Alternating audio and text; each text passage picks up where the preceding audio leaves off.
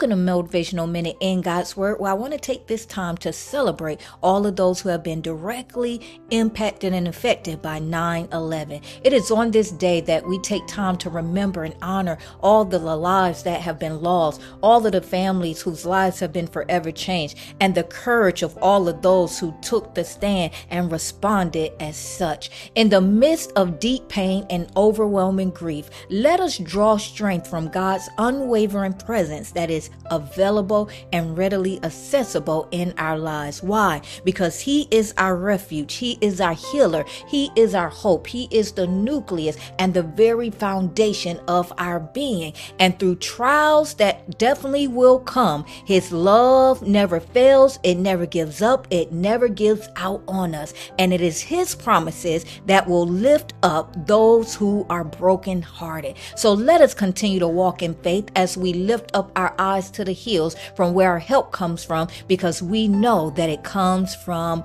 Him according to Psalms 121 and 1. As we trust in His perfect plan, even in the midst of the times that we have to rebuild, restore, and renew our lives, always remember you are royal, you are chosen, you are a woman of worth.